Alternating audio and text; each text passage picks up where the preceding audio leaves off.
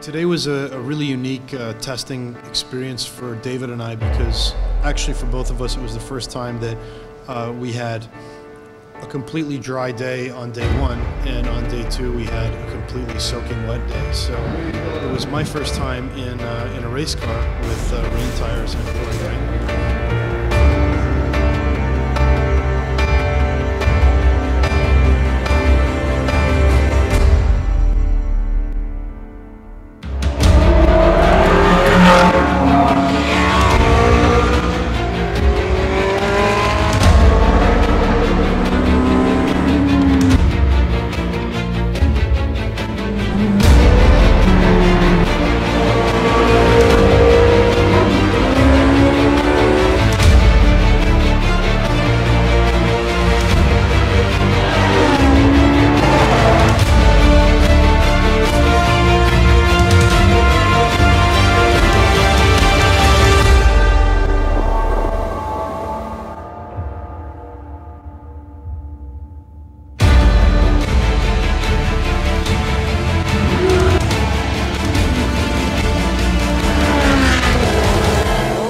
go.